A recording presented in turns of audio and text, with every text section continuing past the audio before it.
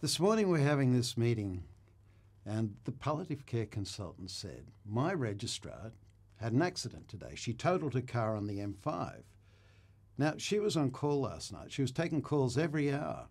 And I was just livid. I mean, this has happened way too many times. I mean, the number of stories you hear about surgical residents. Mm. I mean, I myself had an accident coming home. Oh, you had an accident, didn't you? You was coming home from a night shift. Yeah. Yeah. You should tell me about that one. Yeah, well, I had this accident, and Yeah, actually, um, I had an accident, and that was coming home from a night shift. And yeah, that, I mean, I didn't anticipate that. That was a micro sleep.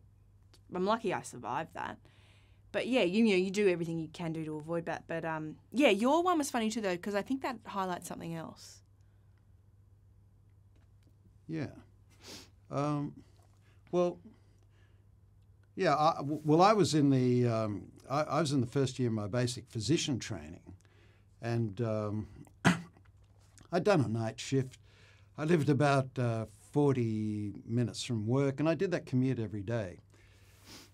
And I, I, drove home, and well, I, I was driving home, and I'd had a coffee, whatever. I mean, you, you try and do what you can, and um, I, I fell.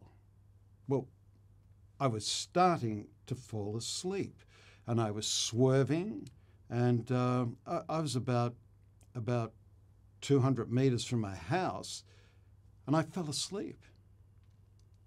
And I, I, the car swerved, hit another car. I mean, what if someone was in that car?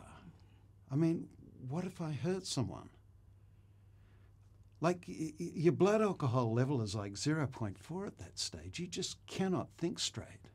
Well, you're saying it's a, the same as a blood alcohol level of 0.4. You weren't also drinking. No, I wasn't. No, just just to clarify. yeah. I mean, I, I think you understood that. Hmm.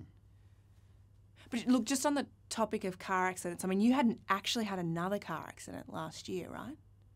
Oh yeah. Yeah, I mean, well, that was remember that wasn't so much your fault. That was that was coming. Yeah, that was you were coming home from no, you're going to work that time, Yeah, yeah. and that was he had a three car accident after something Yeah. like that. I mean, what did he do? Well, We we drove into work. He didn't take the day off. He he he came into work. You know, he, he said, "Look, I have to go to work. I have to see the patients. I have to do the round of patients. I have to impress the bosses. I mean, I have to. They, you know, there's too much happening. They can't survive without me." I Yeah. mean, who? will- came in. Yeah, yeah. So who will see the yeah. patients? Who who'll see them? I mean, who'll round them? Yeah, I know. And then you come in, and it's like, Mm. I mean, it's just. I mean, that's very common. I mean, the amount of times that we've been sick and Well, that's very, we've just come yeah, into work yeah, anyway because we feel we have no choice. Hmm. Hmm. Yeah.